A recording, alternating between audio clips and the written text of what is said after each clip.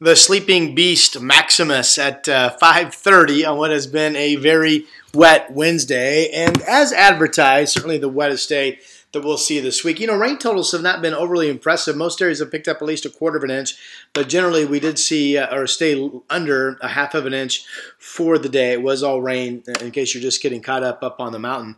I think the big story starting Thursday is every single day the rest of this week, Thursday, Friday, Saturday, Sunday, will be generally at least partly cloudy, getting some sunshine. Thursday, a partly cloudy day with scattered showers, but not much rain. Any one location probably doing well to get five one hundredths of an inch. So that means really Thursday is much more dry and partly cloudy than anything else. Friday, no rain chance. May get some mid-level clouds spilling in, but we're hoping for at least partly sunny skies and a dry day would easily warm us up into the 60s. Saturday, there is a system passing to the north. Forecast models put some deeper moisture clouds over us Saturday morning, maybe a chance of a, just a, literally a drop of rain or two.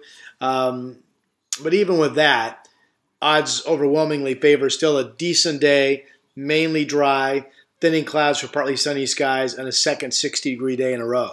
Sunday, which at one time looked really wet, now it looks like most of that weather system coming in actually develops off to the east of our area.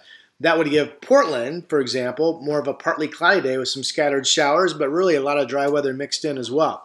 And uh, of course, this weekend we kick off April. Projections, remember for me, were that we would have six inches or so of rain in March. We've had more than that.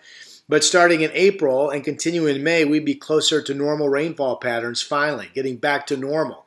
If that's the case, April would have no more than about three inches of rain, which would seem really dry compared to what we've been getting for months now. Have a great stretch of uh, improved weather coming up, and I'll talk to you soon.